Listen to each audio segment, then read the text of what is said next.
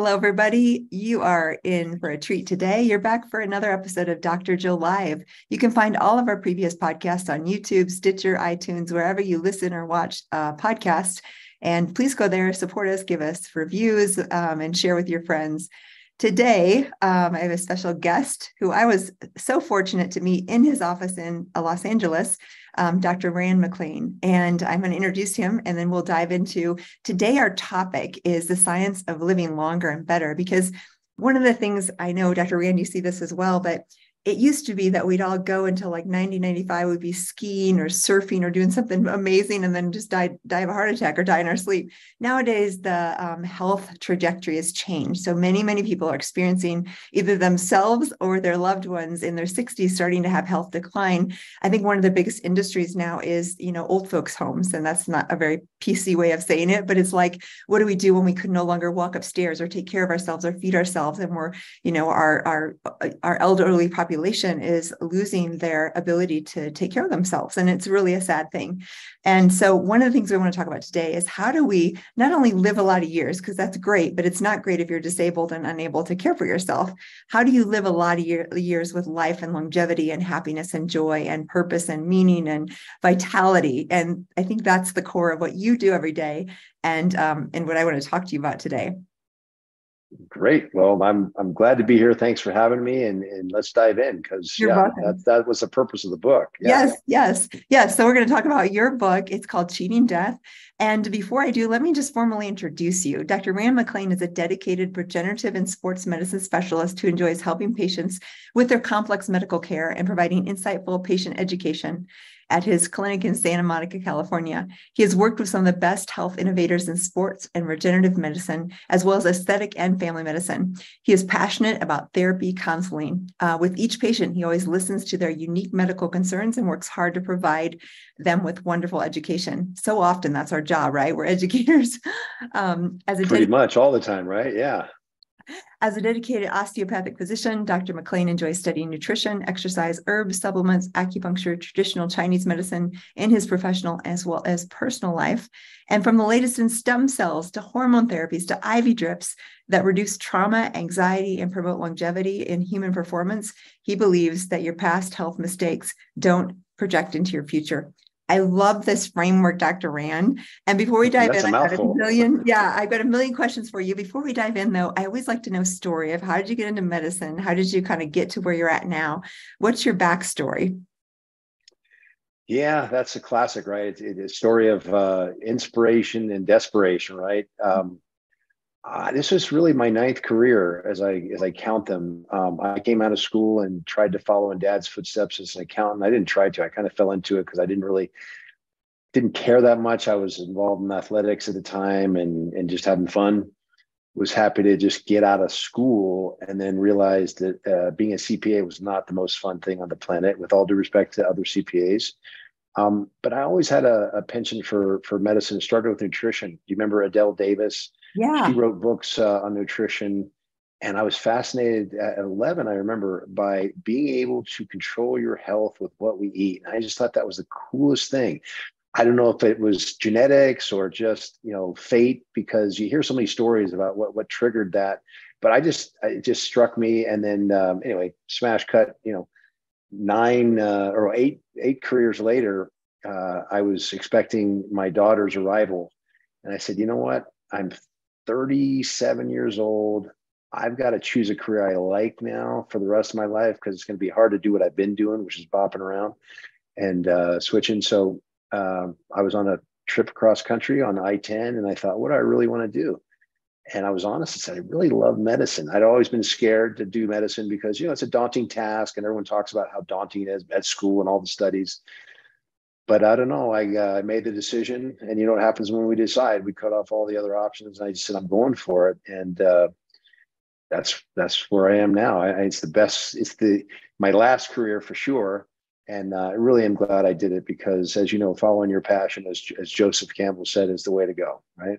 Yes. Well, what a story. Um, so it was really a little bit later in life compared to the 21 year old, right? The, the, classical, like right out of uh, college or whatever that goes into medicine. How amazing, though, that you went ahead because so many people are overwhelmed by the amount of time or effort that it takes, and it does. But um, that is amazing. I did not know that.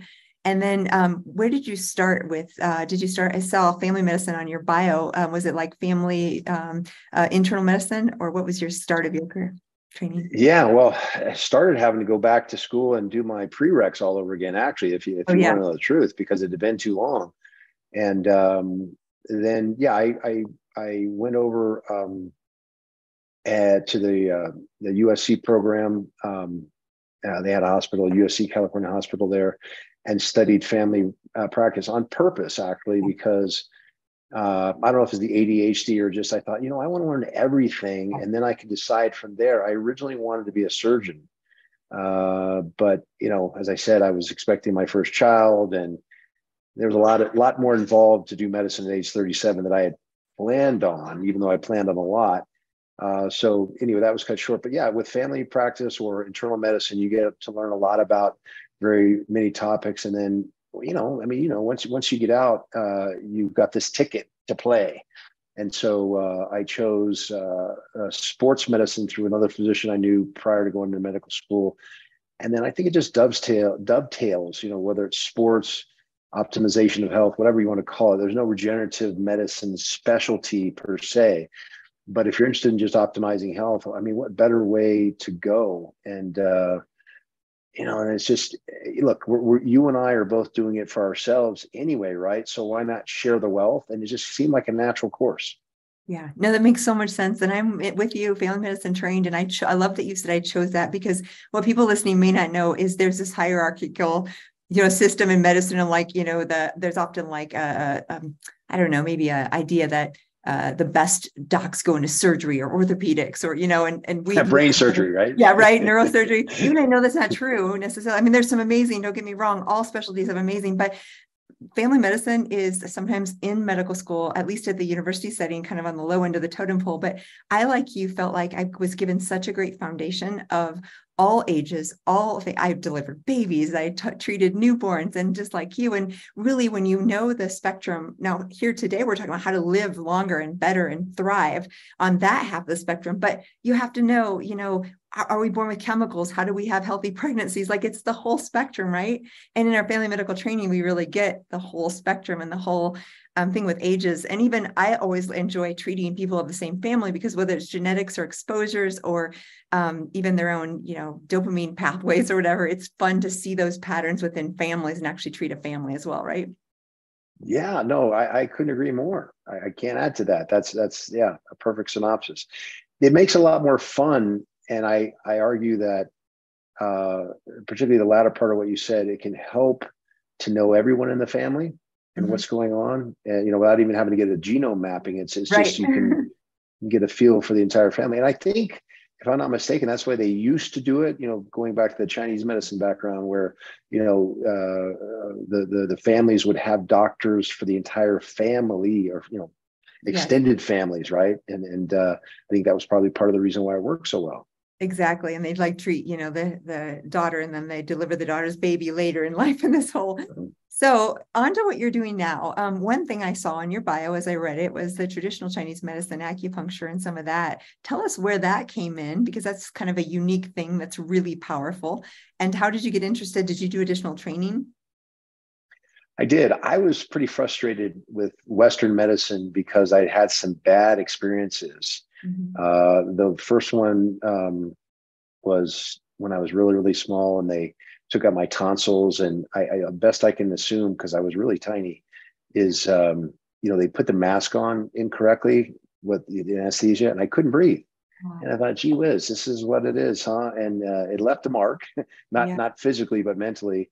And then, you know, all the way up through college, uh, you know, when I uh, broke my neck, they gave me an option of um, basically what amounted to a door hinge or a fusion. And I'm like, okay, well, that's not going to work for me. I'm still young. I still got stuff to do. And you heard all the stories about, you know, okay, you're going to be a kind of a cripple the rest of your life. And that's not a PC term either, but that's the way it was looked at. So anyway, it was born out of frustration with Western medicine. I said, well, there's got to be a better way. Let's try. I applied to a school in Florida where I was at the time, went two weeks and I said, okay, this is not the best. I want to go to the Harvard and back then, arguably, it was a school called Yosan University. And uh, know, I went through the whole process there. You know, not the, in other words, not the what is it 400 hours or maybe it's even less than that uh, to get a acupuncturist uh, license once you're an MD. No, I, I did the the whole enchilada, as they say, um, and uh, uh, or the whole Sichuan, maybe it's in Chinese language. But uh, it was great because you know you, a lot of the things um, that we learn in Western medicine are the kind of hit you over the head things, and you know, God forbid, if you got into a car accident, I wouldn't direct you toward the local Chinese medicine doctor, right? Emergency medicine, you know, um, that's where we've got an upper hand in Western medicine. But a lot of the chronic diseases where we kind of throw up our hand and go, gee, I don't know whether it's, you know, um, uh, menopausal symptoms or allergies. I think the, the Chinese medicine has a lot of uh, better solutions, oftentimes, or at least equally good solutions, and without as many side effects, oftentimes, that Western medicine does. And it, it focuses on a lot of the subtleties that we ignore. I mean, when was the last time you're you're probably too young, but uh, when I was a kid, every time you went to the doctor, the doctor would say, "Stick out your tongue and say ah." Do they do that anymore? Rarely, right? Mm-hmm. Uh, and that was a major part of diagnosis in Chinese medicine, as was you know listening to your pulse and other things that we tend to ignore. And, and look, I'm not I'm not uh, being too pejorative toward Western medicine because, granted, we have other techniques by which we practice that arguably are an improvement, but not necessarily all of them. But anyway, I'm answering how did I get into Chinese medicine? It was frustration for Western medicine, and I did it the old fashioned way. Yeah. For you, amazing because what I find is these philosophies that have been around for hundreds and thousands of years, Ayurveda, traditional Chinese medicine, they have some wisdom. And it's even like whether it's body typing or pulse or, you know, the physicality of our bodies and how they present in the world. And, and so many times, like you said, more gentle. Um, what I really love hearing too is because of your life experience, you went into medicine, not completely. I think a lot of young people go in and think, oh, I'm going to be a doctor and everything that solve the world's problems. And you and I both kind of went in knowing that there's some amazing things we learned, and there's some amazing things about our Western system, like you said, heart attack, stroke, whatever. But there's limitations. And I know I went in the yeah. same way growing up on a farm with a mother who was a nurse. We did, you know, lots of more natural things first. We still went to the doctor, still did all the conventional stuff. But same as you, I had some experiences like that where it was like, oh, wait, this isn't the answer, the panacea to everything, right? So then you look outside, and I think you and I both now we have a larger toolbox. So we still use great diagnostic tests and you know great Western medicine principles, prescribe drugs at times, but it's like the toolbox of what else is possible is bigger, right? Yeah, and I think you know we're never going to get away from the art of medicine too. Just to add a little bit uh, more flavor to what you said, mm-hmm because we just don't have that down yet. You know, the whole Star Trekian thing where you just go whoop and you get all the answers hasn't been invented yet and arguably may never get invented. And so there is some art that comes with, again, interpretation of uh, the, the tongue is scalloped or, you know, it's, it's puffy or it has a, a coat on it, which means something. Yeah. It's just we go digging into the laboratory assays and other things that also mean something, but sometimes miss um, the overall picture when taken all together. So, anyway, there, there's my take on it. I'm saying something exactly similar to what you're saying, but um, uh, yeah, I, I, think I think it definitely has value. Some of these other methods that we seem to have passed over to some degree. Uh, I'm certainly glad I took the coursework because uh, I, I think I definitely use it every day, even if it's just paying attention to detail. Hey, everybody. I just stopped by to let you know that my new book, Unexpected Finding Resilience Through Functional Medicine, Science, and Faith is now available for order wherever you purchase books. In this book, I share my own journey of overcoming life threatening illness and the tools and tips and tricks and hope and resilience I found along the way. This book includes practical advice for things like cancer and Crohn's disease and other autoimmune conditions, infections like Lyme or Epstein Barr, and mold and biotoxin related illness what I really hope is that as you read this book, you find transformational wisdom for health and healing. If you want to get your own copy, stop by readunexpected.com. There you can also collect your free bonuses.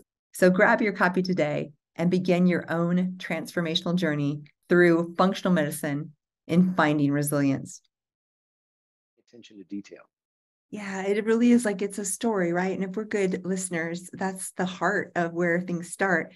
So, what do you nowadays mostly? What kind of people are coming to see you? I'm assuming it's like high performers and people uh, who really want to live their best life. But describe kind of a day in the life of the kind of people you see. And then I want to talk about some of the interesting things that you do that are maybe not typical of most doctors, because when I visited, I got to, to jump into your human freezer, which is like a cryo well, cryotherapy, right? But where it's what's the degrees there in the cryotherapy? It's usually at least 150 below. Yeah. So I was three minutes in there. It was one of the funnest experiences. And of course, I've done it since, but that was one of the things that's in your clinic. So tell us a little about like day in the life of what you do typically and what kinds of other tools do you have to enhance longevity and performance? Well, I like to say I really don't see sick people you know, in the sense of people that are on 26 meds and, you know, not doing very well. Although I did have one of my uh, really good friends' mother come in in just that state, and that's a whole other story. But I see people who want to um, optimize their health. So they're already in pretty decent shape, but they say, hey, I, I don't want to live like we were describing at the very beginning, that life where I'm spiraling downward into my old age, which, you know, who wants to do that? I mean, it, it's a privilege, obviously, to be alive, but you'd like it to be without pain and, and you like to be able to do as many things as you could up until the last moment right? Mm-hmm. um, so i see a lot of people like that. But i also see you know you said uh, high performers or high uh, high end people. You know what the biggest uh, group of people i see in my office by far as a group is law enforcement officers. Wow. Um, uh, part of that's because I'm, I'm, I'm a reserve officer so i have a you know a certain regard yeah. for for law enforcement uh, on its own. But you know the point being that these are guys that are and gals that are in the trenches, so to speak, of everyday life. They're not necessarily you know the professional basketball players or baseball players or bicycle riders or anything like that. They're elite and, and pro athletes, which you know those are those are fun to work with too. Um, so it's really the whole gamut of anyone who's interested in, in, in better performance uh, not only performance but just better health in general optimizing health. So we we we like to provide as much as we can. That cryotherapy you mentioned which is a lot of fun and actually there's a lot of science behind why that's good for you and why it makes you feel so much right. better. Uh, but we do things from um, what we call IV nutrition, where we're giving uh, typically vitamins and minerals through intravenous uh, administration, to uh, uh, now that we had the recent decision in, in Southern California, the, the Central District uh, where it's no longer an FDA banned uh, substance. Um, you know, stem cells, uh, uh, autologous um, stem cells are now available. Um, and that I hope is an area that's going to blossom because there are so many things we can do from lowering inflammation to regenerating tissue with these substances and what comes with them that that's a really uh, exciting part of medicine coming up and then we have uh, lots of new peptides that are available uh, that we find, you know, look, we've been working with peptides since, I mean, insulin, right? Mm-hmm. And we, we, we kind of passed over peptides because they were short acting.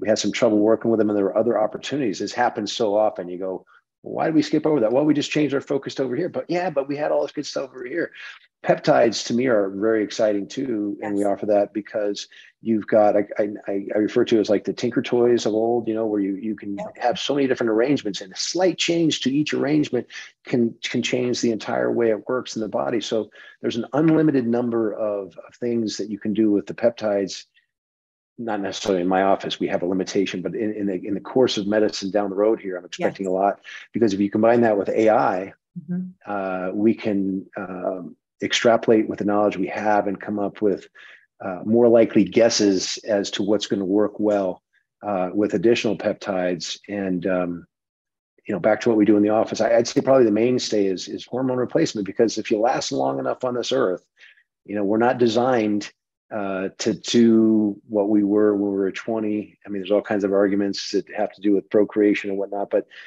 yeah. Fact of the matter is, we we start to run low on certain of these hormones, and we can replace them now, just like you could thyroid hormone, uh, testosterone, estrogen, progesterone, and it can make a real difference in people's lives. Per what we were saying about just enjoying them, and it's not robbing Peter to pay Paul, which is an important point. You know, you're you're you're uh, you're not saying, oh well, I'll trade 20 off the back end for some quality now. If you think about it, you're improving your health, your quality of life, which by extension you would no pun intended you will be extending your lifespan right? So it's a win-win and just getting the word out there is is uh, part of what you and i are both doing. I know you're doing it too right? I, you, I see your book in the background there and uh, you know that that's part of the fun of what we do and and that's just a smattering of of what i do. I, I try and keep in touch as do you i know with the latest and greatest you know the expression you never want to be the first one i get but um, and that might apply to another thing that's coming down the pike that we don't do in my office but that we're looking forward to gene editing. You know we don't have that perfected yet but we got a, a lot of new advances some of which are working to cure some formerly incurable diseases. So um, anyway i'm going off topic uh, when i say you know we're other things we're doing but i get excited about what what the opportunities are which things i hope to be doing in my office down the road right no, I love this. And I want to like ask you sp- a few specific questions about, we'll just kind of do popcorn. I want to talk about cryo, some of the benefits, NAD, if you do it, the PEP, like you said, because you just hit on so many great topics. I'm all in um, like you on all of these topics. Um, I don't have the cryo in my office, but I certainly recommend it for people. But what I wanted to say here too is um, you just pointed out something really important. The typical medical literature takes about, say, there's a study today, and then there's two studies, and then 10 and 20. It's about 20 to 30 years till that becomes standard of care, right? So if, say, vitamin yeah. A is beneficial for night blindness, well, it took 30 years for that to become like a standard of. So what you and I are doing is we're looking at that. We're not. It's not that we're not doing great research or not doing it, but reading the great literature because there are literally exponentially growing amount of research on the topics you just brought up cryotherapy for increasing nitric oxide and performance and right and all these things and norepinephrine epinephrine and we could go on and on. But what happens is we have the studies we have the data and then you and i have to decide as physicians with patient safety okay what things are probably safe and potentially very beneficial. And i'm always on that curve i'm sure you are too of like okay peptides likely safe. These are amino acids right? Like, like they're not drugs even in the sense of a chemical it's an amino acid sequence. And then the likelihood of them benefiting our patients is so great that I'm willing to be on that cutting edge, maybe even bleeding edge sometimes to try these new things. As long as you know you have the informed consent, you say, "Hey, this is new. This is what we're seeing. This is what I'd like to do. You, are you interested?" The patient gets to decide, but at least we give them that option. And being on that edge, I'm sure, like you, um, I see things that are almost considered miracles. They're not, but they're like really extraordinary outcomes because we're pushing the envelope on what we're willing to do.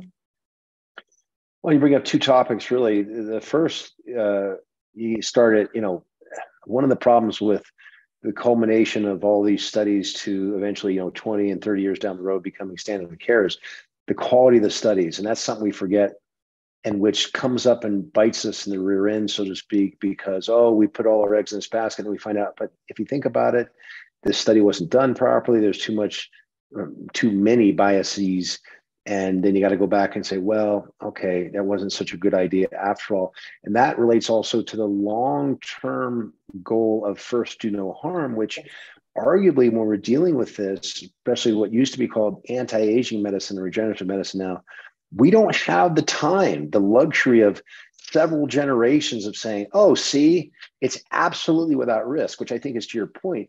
But if we can show that at least in the short term there's no harm done. And theoretically, it appears that there would not be a reason for any long term uh, damage. I think, as you said, as long as there's informed consent, it's worth the risk. And you find that, you know, with a lot of the physicians who are in this field, one of the uh, things we haven't mentioned yet is rapamycin.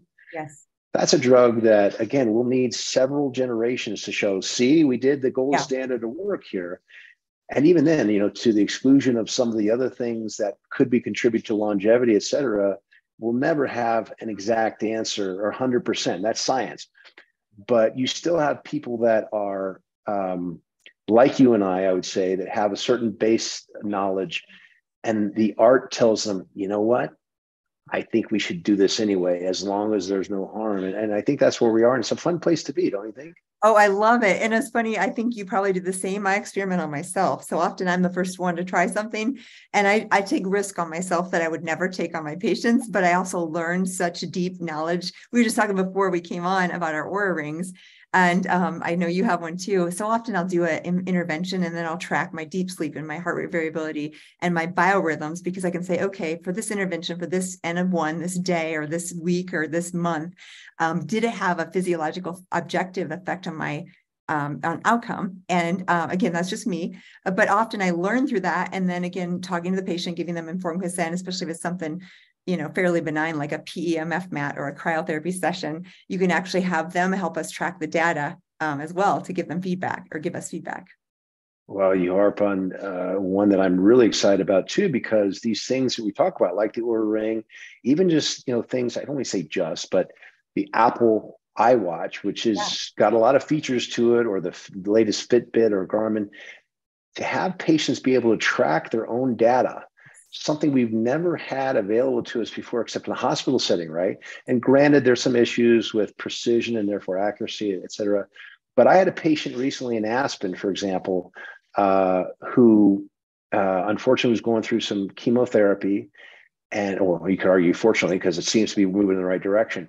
But what was interesting is we saw um, when i saw him uh, he had a, a very low uh, hemoglobin hematocrit, so he had anemia clearly, um, and we were trying to track when it happened, and we had limited resources, but we had this Oura ring, and you watched uh, as his uh, heart rate increased yeah. over time, yeah. and we could trace it back to exactly when we started a particular uh, chemotherapy agent that had not been added before that we think affected his kidneys and the ability to create erythropoietin, et cetera. But isn't that neat? I mean, yeah. you know, uh, people who aren't physicians are probably going, "What the heck he's talk is he talking about?" But to be able to track that without having the standard that we normally expect, like we need serial blood work to show, right. oh, right there is where the hemoglobin started to change. We didn't have that, right. but we could track it and sort of help verify our theory using a wearable. I mean, to me, that's so cool. And uh, when we can start tying all that together, I think we can uh, get people, I hope, excited about other things like, you know, being able to track how exercise yeah. affects our health too, you know, not just because right. they tell us to, whoever they is, you know, grandpa right. and grandma and great, and, and, and, doctors, of course, all the time. So I, I think that's a great um, prospect for the future too. And, and we were talking about how stingy uh, the Oura Ring is when it comes to, to sleep. sleep yeah. Uh, just just to be able to talk uh, to, to, gauge your sleep is something that again unless you're part of a sleep study or in the hospital but a special wing of the hospital where you're wearing something that tracks right. your eeg we wouldn't have this otherwise so again uh, not to beat a dead horse but very exciting what we have available to us to help optimize our health it really is. And I, I use it all the time. And like you said, I love that you said it's not perfect. These data points aren't, but they're enough of a of an edge to give us data. Like for me, when I do an intervention, I often see how did it affect my deep sleep? How did it affect my restfulness, energy levels, these things. So um, I want to mention the IVs because you do a lot with IVs. Do you do NAD or PC, or I'm sure you do like Myers? What's your top uh, uh, offerings for IVs for patients in the realm of or exercise? Um, I'm going to be remiss in not remembering this doctor's name because he deserves credit. He's an environmental medicine doctor. I believe he's based out of uh, Arizona or was. I think he might be retired now. But to me, he wrote the book on uh, what would be considered IV nutrition. It used to have a yellow cover, and I'm so apologetic I don't remember his name because again, he deserves the credit. But um, he has developed a, a, great list of different cocktails, as it were. And obviously, uh, you know, the Myers is one of the most popular and one that he suggests everyone should start with to see your tolerance for it. But yeah, we add different amino acids depending upon what the patient's looking for. Um, and I'd say um, uh, it's really open to just what's your goal and what we can add to it and what degree. Um, when it comes to um, I mean, there's so many things you can address with IV nutrition from, I mean, we just mentioned cancer. There's a pro-oxidant dose of vitamin C that you can use. You combine that with hyperbaric oxygen. And there's, uh, I wouldn't say there's tons of studies, but there are plenty of, of sufficiently designed studies that show that will help uh, at least as an adjunct. I know we can't say it cures cancer, but at least as an adjunct to cancer treatments. And so there's plenty there. And then as far as NAD, yeah. uh, you know, there's, there's a lot of, controversy and the jury's still out because we don't have a lot of science behind it. But there's, and I'm going to blow it again. There's a, a doctor in uh, Springfield, Missouri, who's great. Uh, he's the guy uh, when it comes to NAD, at least in my mind, and he can rattle off a, a, a, huge number of patients that are helped considerably by NAD, particularly those that have certain addic- addictions. I have seen using the Oura, by the way, if I did uh, an NAD um, like a gram intravenously, you can watch that night uh, your your rhythms, your sleep rhythms go back to what you had when you were much younger. Every 90 minutes, you'll see a, an up and down through mm-hmm. the the stages. That's classic, right? Um, and that can't that has to reflect that it's doing more than just accumulating in the liver, like you would. Very possible that when you take it orally, that's that's as far as it goes. Who knows? But I have seen a difference with it. Uh, I'm a proponent of it. If you have the time, because it is typically a, a, long procedure to to, to tolerate because it can make you feel a little weird. Um, but um, I, I, should hasten to add that, as you know, the best way to increase your NAD levels is to exercise, right? yes, yes. So this is great because again, a lot of people are out there and they've done an NAD or they're interested in it, and, and among all the other things you're doing, what would you say? So do you you have the cryotherapy? Do you have the hyperbaric as well in the office? We do, but you know, with COVID, we just, you know, for obvious reasons, people said, "I'm not going in there." Right, right. Uh, we hope to we hope to pick that business up again. And I say I, we don't. I say in, in our office in uh, in Santa Monica, no, but in uh, believe it or not, in, in, Aspen, we've got like three there at a place called the Fix. We, we're we're working together with that group, and uh, it's still a very very useful tool. There's so much science behind it. I would say the biggest uh, drawback if there is one, is is the time necessary for what we call a dive. But yeah. uh, you know, everything from releasing stem cells from within the bone marrow to getting uh, drugs or nutrients to where it needs to go, including oxygen, yes. because it's under pressure, so it can go right. farther down into the capillaries and whatnot. Uh, it's a great tool. Mm, fantastic. It's interesting because I've been preparing a talk on nitric oxide and the importance and how we diminish as we age. And the things that have evidence for nitric oxide are cryo, hyperbaric, infrared sauna, red light therapy, probably all these things that were, you know, and so I wonder if some of this uh, we're seeing on all these kinds of therapies is really just increasing nitric oxide because that affects everything, right? So I have a question I want to kind of pick your brain about because my audience is men and women, uh, professionals, uh, doctors, but also patients. But probably the most common uh, type that's out there listening is a woman 35 to 60 maybe perimenopausal maybe menopausal um, some maybe some autoimmunity maybe some fatigue. With this prototype that classical kind of woman i'm sure you've seen some of these as well come in where would you start? What would you if you had top three things to to offer this woman uh, again let's say 47 years old uh, menopausal or perimenopausal fatigue is the main complaint otherwise doing okay in decent shape. What would you do with that kind of person well, of course, I'm going to get accused of being a hammer that's always going to look for a nail, right? Because I said earlier, hormonal replacement is one of the, the big things we Agreed. do. it's it's really because um, it's just so prevalent, and and so you know when you see a hoof print, you look for a horse before you look for a zebra and a unicorn. As you well know, I mean, uh, you know, environmental issues can cause fatigue, definitely on the list, but typically 47 year old with no other reason for fatigue except, hey, I'm 47 and I'm out of gas. I'm getting proper sleep, even, um, or at least I try. Um, but yeah, the, the, the short of it is, I would I would, and we do a pretty comprehensive panel actually, so we can pick up as much as we can. But it definitely includes measurements of the steroid hormones, you know, from the word cholesterol for again those those who are thinking, what steroid? No, not anabolic steroids, right. the naturally occurring steroidal hormones. And typically we'll find that just like men, women also use testosterone and have a deficiency in it. And that's the energy hormone. That's the nature's antidepressant hormone.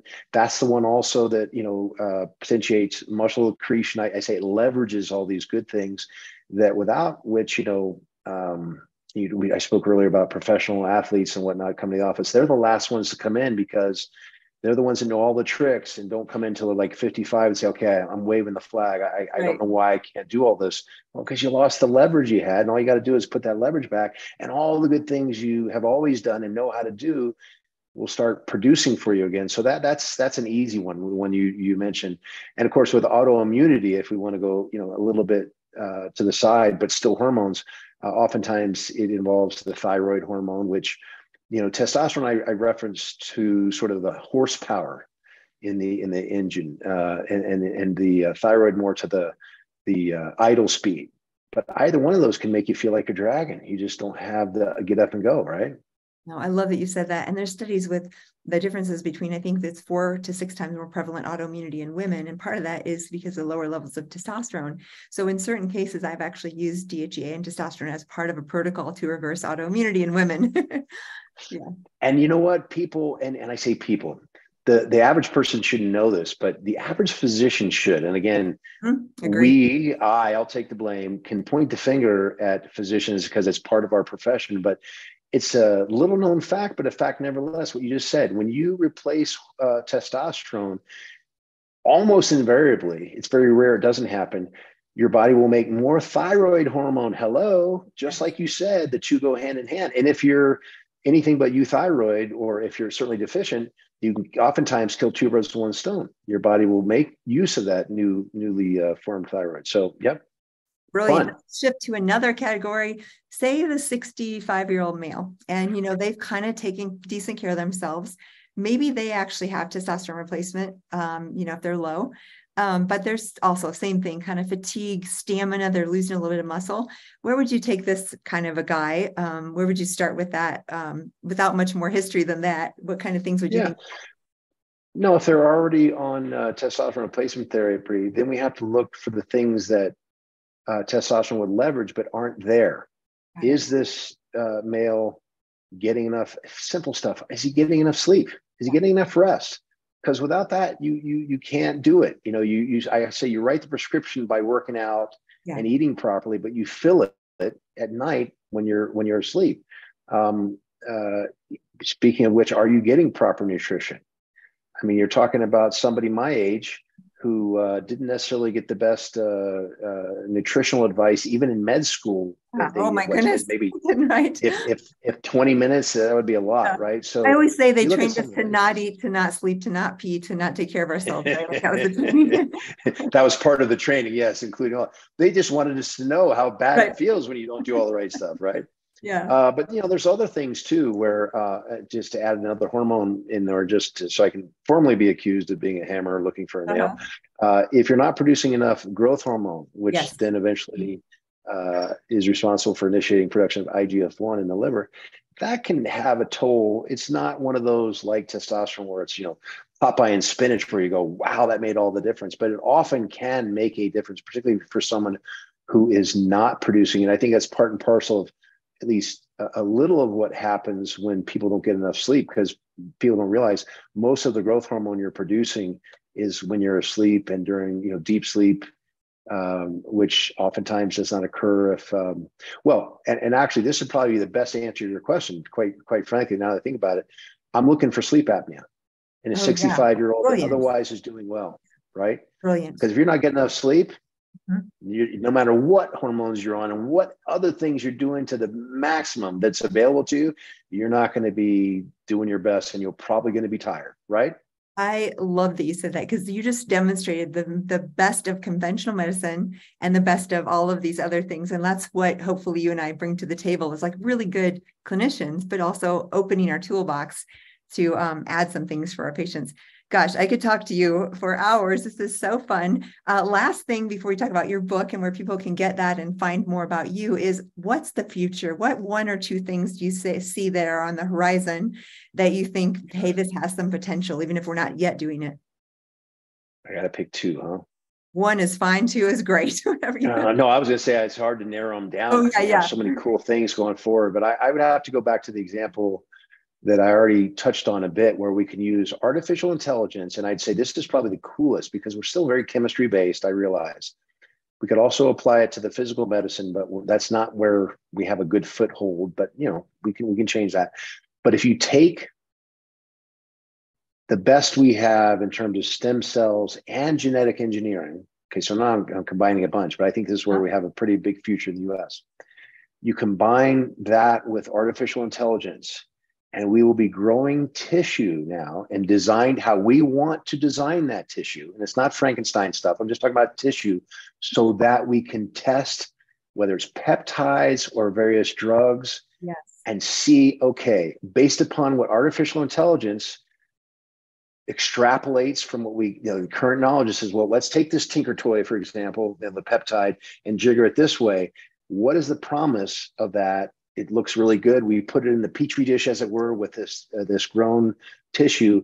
We can get so much further ahead than what we do starting with you know animal trials, which doesn't cross over more often than not. And then finally, human trials, which you got to be very careful because we're dealing with a live human instead of something in a petri dish.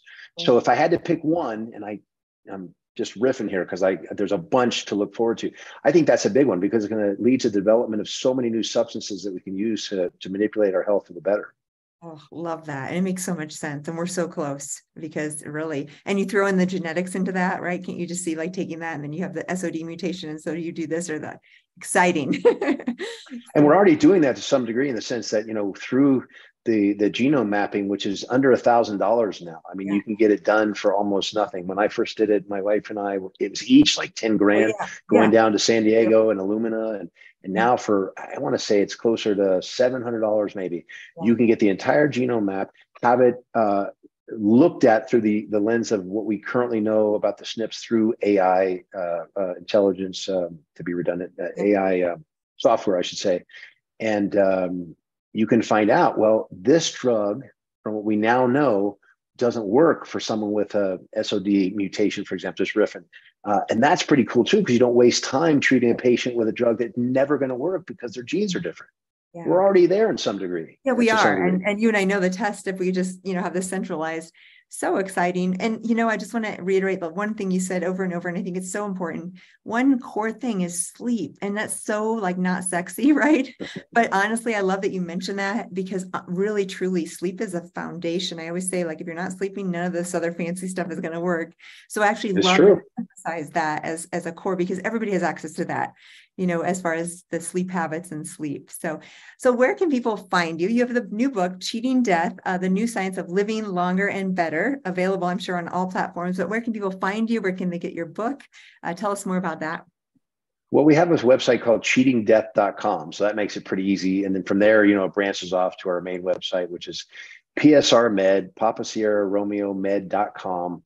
Um, and yeah, I mean, Amazon has the book, Barnes and Noble, all the the major outlets and whatnot. So, uh, yeah, if you want more information, uh, I did my best to to incorporate a lot of what we talked about in the book so that people could get.